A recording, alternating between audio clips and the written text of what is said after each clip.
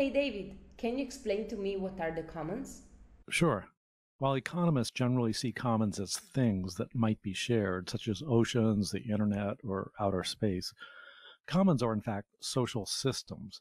They're self organized communities of people who are dedicated to sharing and managing wealth in fair ways, with minimal involvement by the state or market.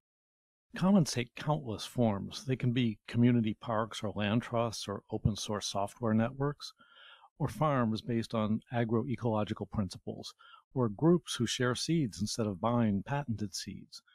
You can see commons at work in local currencies or Wikipedia. Uh, you can see them in cooperatives and artist collectives. Whatever the commons, it's about care and long term stewardship of wealth for mutual benefit.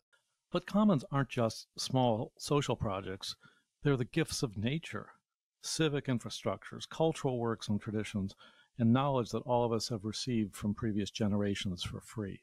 This creates obligations in us to protect the wealth that we inherit or create together so that we can pass them on to our children, improving them and not diminishing them.